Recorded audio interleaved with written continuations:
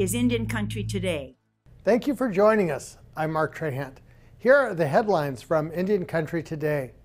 President Joe Biden signed several climate related executive orders on his first day in office, including some that affect the residents of the Bering Sea. One of the orders reinstates the Northern Bering Sea Climate Resilience Area, an Obama era protection from offshore oil and gas leasing in the Norton Sound and waters around St. Lawrence Island. The original order was revoked in the early months of Donald Trump's presidency.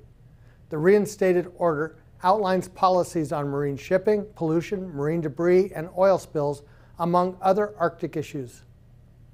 The American Library Association is announcing that the picture book, We Are Water Protectors, is a winner of the Caldecott Medal. Illustrated by Tlingit artist Michaela Goade and written by Turtle Mountain Ojibwe citizen Carole Lindstrom, the book follows a young female standing up against construction of the Dakota Access Pipeline.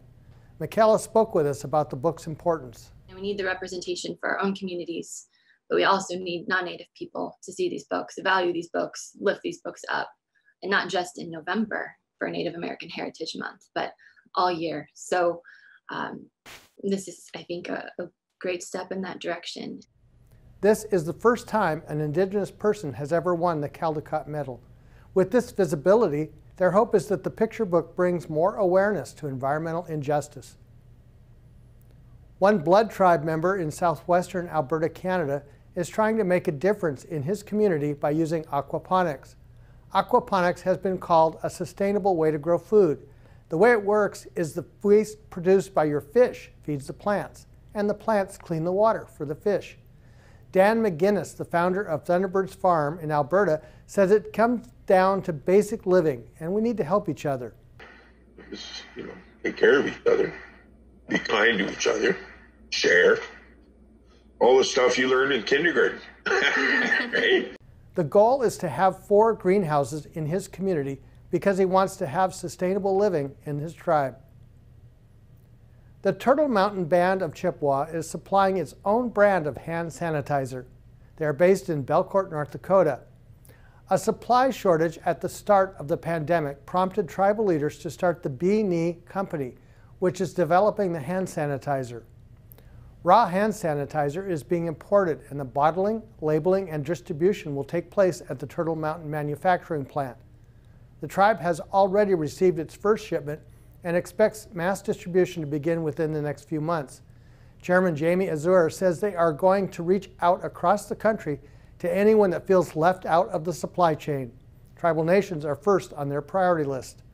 Azure says the first shipment smells like lemon, but not to worry, other scents are in the works. The Salt River Pima Maricopa Indian community, located near Scottsdale, Arizona, is asking Major League Baseball to delay the start of the season due to the coronavirus. The tribe owns Salt River Fields at Talking Stick, which sits on the western edge of tribal lands. It is currently home to the Arizona Diamondbacks and the Colorado Rockies during spring training. They made the request in a letter to Baseball Commissioner Rob Manfred. Along with the Cactus League, the letter is co signed by the mayors of six Arizona towns, as well as representatives from Phoenix. Currently, talks have stalled with no formal proposals to change opening day. According to Salt River's Facebook page, the tribe is approaching 1,600 coronavirus cases with 42 deaths since the start of the pandemic. NBC Universal Group launched a new journalism training program called NBCU Academy. The goal is to offer resources to universities and college, colleges that are historically black, Hispanic serving institutions, and have a significant population of Latino, Asian, black, indigenous, or tribal communities. They are a team of journalists and producers, data wonks, human resource specialists, and business professionals who believe in the transformative power of radical candor to build inclusive and equitable newsrooms. New Mexico's Institute of American Indian Arts is one of 17 colleges picked to be a part of the program. IAIA was approached by NBCU Academy in late 2020. IAIA will receive $500,000 in grant money from the program over two years. The money will go towards scholarships, internships, and seminar courses with guests, including NBC journalists. And those are the headlines from Indian Country today. I'm Mark Trahant. We'll be right back.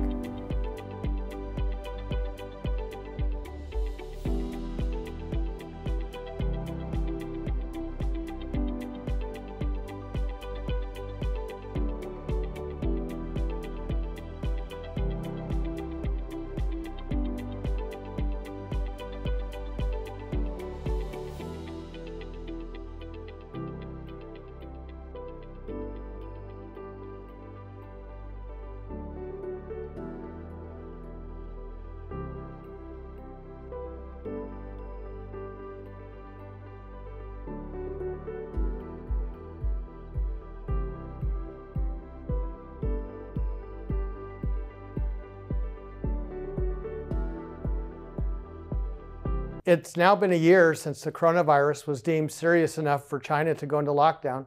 Still reeling from the pandemic, we've changed the way we live and work. That's especially true for performing artists. Today we meet two multimedia artists who found ways to collaborate across the miles.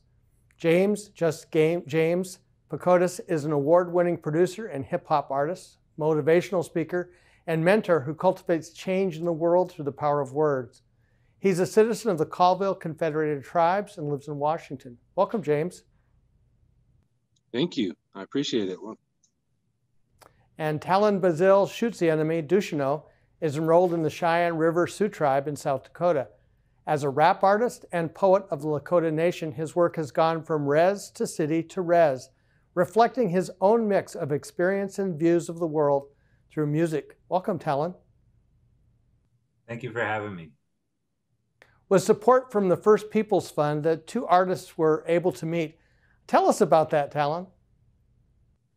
Oh yeah, so um, you know, both James and I, we uh, were one of the selected fellows to um, do. I believe mine was Cultural Capital Fellowship. I believe James was uh, Business Leadership.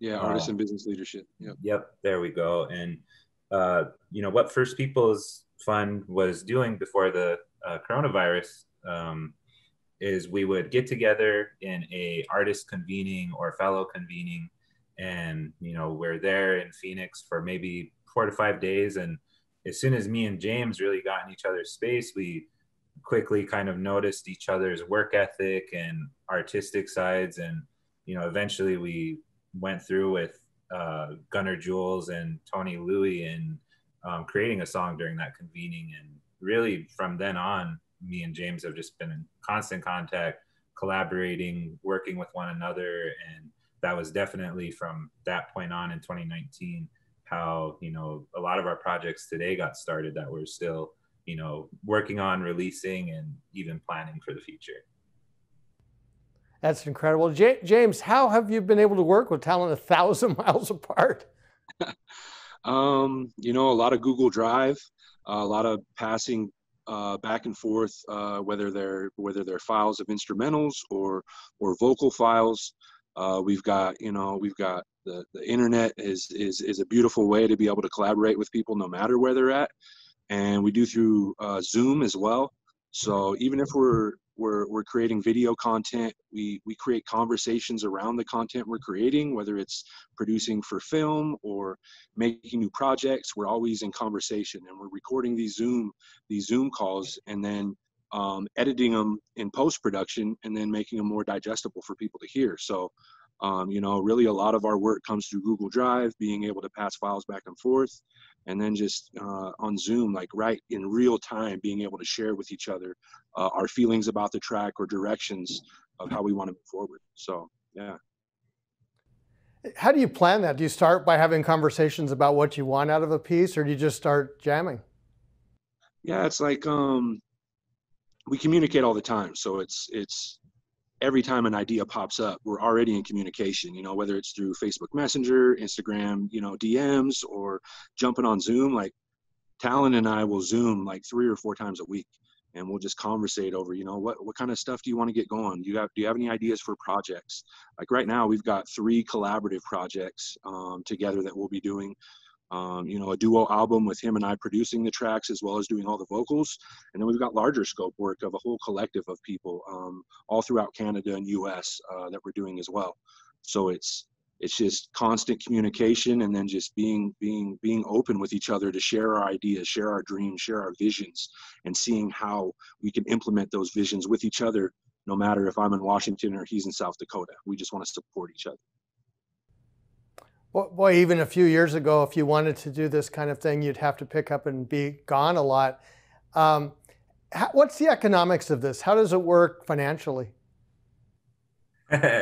um, financial wise, I, I know me and James, we both kind of have our own way, and that's kind of the beautiful part of our collaboration is while we do work a lot together and we'll um, apply for grants with each other in mind or we'll go out there with our material together or or promoting each other and all of that by and large you know how we i guess hustle our our work and and what we do, it it really varies, especially with this pandemic. Um, for me, it's a little iffy because I'll get kind of side gigs to perform virtually, or uh, you know, I'll get asked by an organization to help produce a piece that they're working on, or um, right now I'm working on uh, this thing called Creation Story with Keith Braveheart, where I'm doing the sound engineering for an art exhibit that they want to do. That's about the Lakota creation story. With that funding um, and whatever comes out of that, just as James showed me in our residency that we did in 2019 together, um, where we recorded an Iktomi series, a series on the trickster Iktomi, um, it it's about reinvesting all of that and and trying to get it another way to to sustain something else because um, I feel like the more that we have been reinvesting, the more not just you know better our art becomes, but as James said before, our goals with this really are to uplift our community and not just by us talking about it, but by us showing those actions through um, how we conduct our work and how you know James will involve all of the youth and and artists in his area who he believes in in and wants to shine with the artists that I have coming from my network of people who I've seen throughout you know my 10 plus years in this music game of you know the artists who inspired me and had me on their music when I was just a freshman in high school and they were in their late 20s to the new artists now who now the, the roles flipped and you know i'm i'm that older you know uncle you know trying to show nephew and niece how to do this. And um so really when it comes to finances i know for me it, it's it's kind of just a toss up in the air. A lot of people given what we're doing i think they think that it's very um uh monetary heavy and you get all this stuff but really it's it's a it's a big labor of love for both of us. And if anything the, the payment is you know those connections that we're talking about and those moments when artists come to us and they share that good positive energy or or the listener or the event and organizers that we work with um, it's it's really about that. Yeah. And as for me like you said we we take different approaches as far as you know um, uh, bookings go and engagements and whatnot. Early on uh, right when covid broke we're back in like february right february april 2020 and uh, and I realized we were not going to have the same access to cinematographers, videographers, or even other artists. You know, we had to really think early, like, okay, how are we going to adapt? And the and the key word for for for for the pandemic is pivot, right? How are we going to pivot? How are we going to adapt? And early on, I was like, you know, I need to start doing film myself. You know, I'm not going to have access to these people, so um, I, I just at first upgraded my phone to a to a Samsung S20, like the nicest phone with the nicest camera on the market at that time. Got a phone gimbal and just started getting some hours behind even learning what a camera does on a phone. You know, first doing my own promo videos, and quickly uh, took a booking from First People's Fund um, in partnership with with one of their native CDFIs here in Washington um, called the Native uh, uh, Northwest Native Development um, uh, firm, and uh, and and I shot 13 short documentaries with with a good friend of mine, Roxanne Best, of 13 different performing artists up here. So it wasn't so much of me being the one in the forefront. It was just sharing story and giving other people opportunity, right? Um, still trying to build community in this this new way, this virtual way, right? And uh, and and in doing so, um, have have been able to to to keep a roof over my head and then the other half of it is all of the grant writing. So grants and fellowships. I'm very, you know, heavily involved in writing grants. My partner Maura Garcia like really taught me how to how to really develop a system um, to save my content and, and and get to get to writing more often, right? So uh, you know, 2020 came and um, uh, 2021 um, advancing Indigenous Performance uh, Fellow through Western Arts Alliance. Right now, you're seeing this beautiful space. I'm rounding off the end of this uh, three and a half week residency here at Caldera Arts, uh, DCM Collective, which Talon is a part of. Um, you know, five of us from the collective got an opportunity to be here for three and a half weeks to develop content for the next year. Um, and in that film, we're, we're getting into more film projects. Talon and I just won a huge award at LA Skins Fest for being able to score an animated short, right? So we, so we got the Achievement in Animation Award at LA Skins Fest. So we're really pivoting more, not just being performance art, but um, uh, being producers as well and getting into film. So it's really like the, the theme of the pandemic for us is adaptation and, and, and really getting heavily, uh, getting our hands heavily involved in, in the freelance work. That's interesting. That's almost the long story of uh, indigenous America's adaptation for the last three centuries, figuring out new ways to do things. Yeah. I'm curious, how do your fans react to this? Uh, I've taken my fans on a roller coaster ride since the beginning, right? Like I've I've I've had all of this uh, success, you know, through First People's Fund. They've sent me all over the nation. Met with Talon down in Phoenix. We recorded there. Again, we went down to National Performance Network's booking conference down in New Orleans, and then we recorded two more songs while we were holding space together. And then First People's Fund sends us up to APAP in New York City, and I got to meet with the Doris Duke Foundation and recorded two more songs with you know Defy and and Los, you know other people that that, that we collaborate with now on a regular basis, and uh, and and and it's like um, you know the the building of that resilience is is I feel like my my fans and my followers um, have come to know me for that resilience. I've lived a very uh, tough life, tumultuous life, you know, the childhood trauma, and then not being able to deal with it, or or or choosing not to deal with it, and and and going into uh, alcohol addiction, drug addiction, and criminal activity, and then bouncing back and my community forgiving me for the for the wrongs that I did to my own community, for the poisons I I, I gave to my own community. Um, they've really um, um, come to know me for that resilience, right? And I've done and I've done so in my music as well. Started out with "Break These Chains." We won the Native American Music Award, and then the next song I dropped was an R&B song. And then the next song was, you know, me and my friend Tony doing like hip hop and blues influenced, you know. So, like my my fans, they they they know me for the adaptation. They know me for the resilience. So really, a lot of them have been very very supportive, you know, along the way and and and inspired, you know, because I'm I'm not afraid to try new things, like start over and and and, and find a new beginning. You know, like like I, I just take the the thought of no matter where I'm at, like I feel my ancestors with me, no matter no matter where I'm at in art or business. Like I have I have resilience for hundreds of years built up in my spirit, you know. So I take that with me everywhere I go. Fantastic. Thank you, James Pakootas, for joining us. Yeah. I appreciate you. Thank you for the opportunity. And thank you, Talon Bazille Shoots, the enemy Ducheneaux, for joining us as well.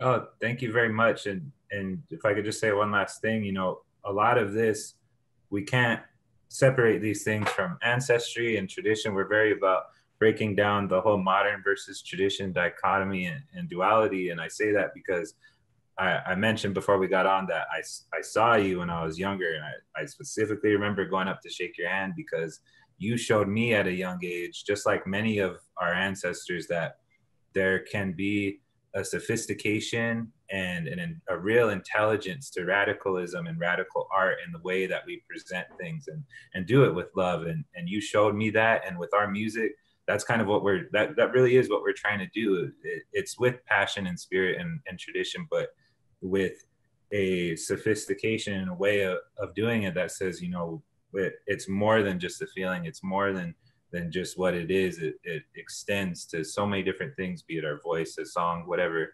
And you you really showed me that when I was a young person. So so thank you.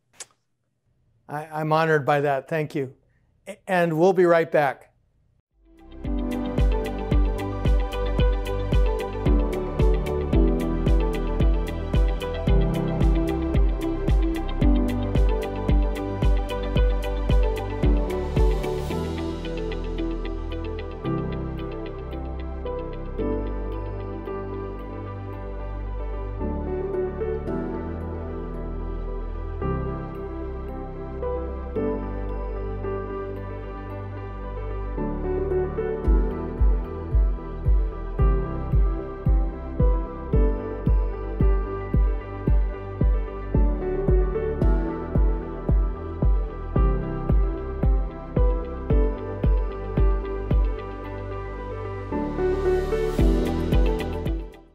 Strengthening tribal relationships and upholding tribal sovereignty is a priority of President Joe Biden. He's been busy since uh, taking office since taking office last week, One person following the president's actions is Jourdan Bennett Begaye. She's our deputy managing editor and is based in Washington, D.C. Her recent story, Joe Biden, Tribal Sovereignty Will Be a Cornerstone, is on our website now. Jourdan joins us now to talk more about the president's actions. Hello, Jourdan.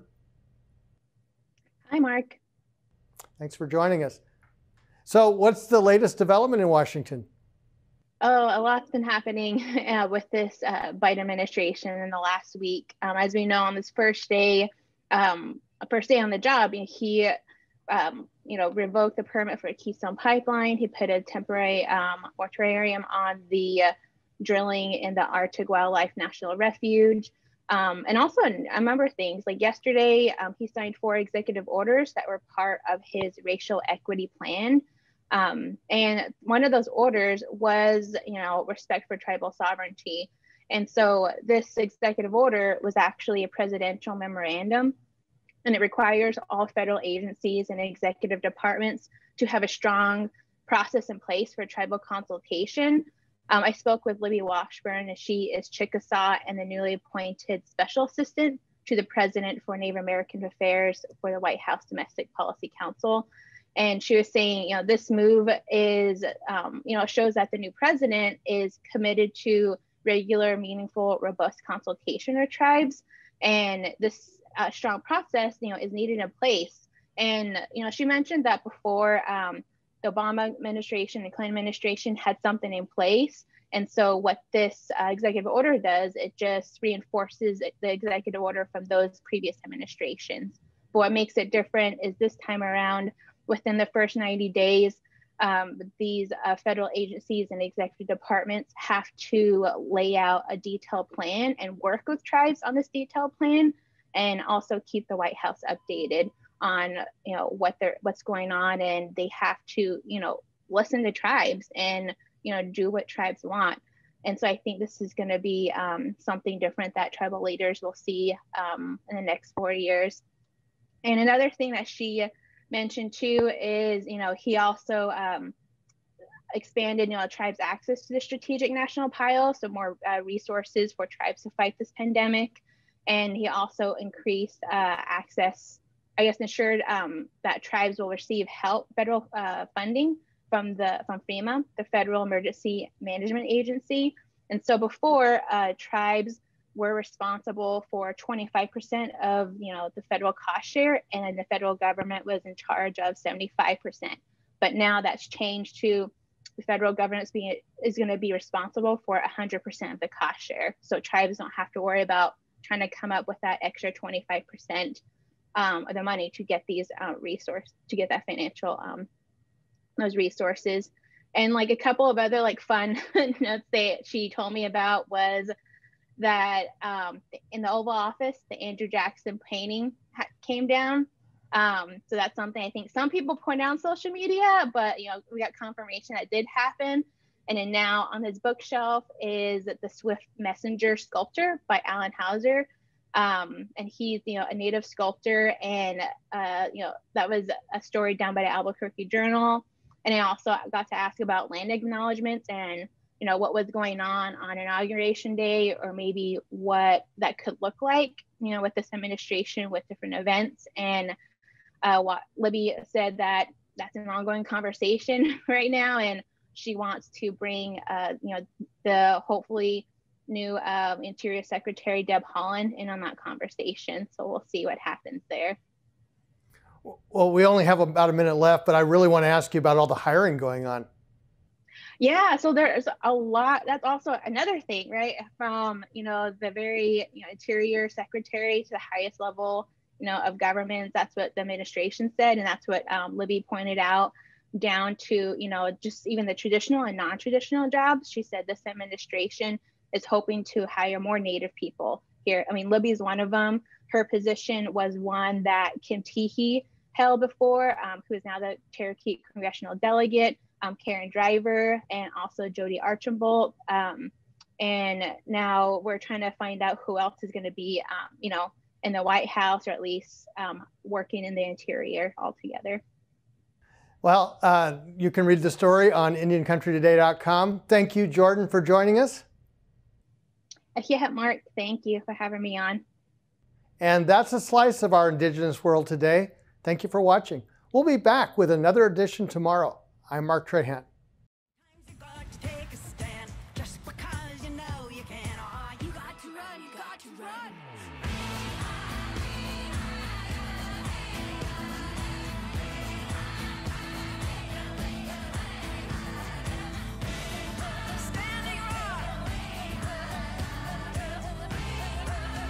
Indian Country Today is recorded at the Phoenix Indian School Visitor Center in Phoenix, Arizona. This is Indian Country Today.